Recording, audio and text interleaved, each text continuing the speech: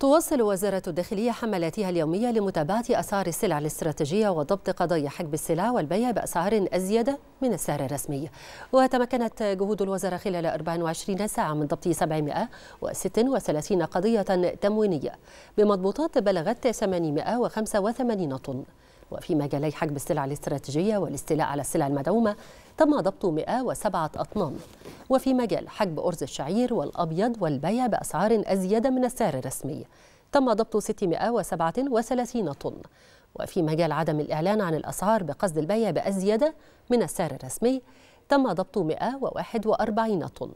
أما في مجال قضايا المخابز فقد تم ضبط 918 قضية من بينها 258 قضية خبز ناقص للوزن و169 قضية خبز غير مطابق للمواصفات.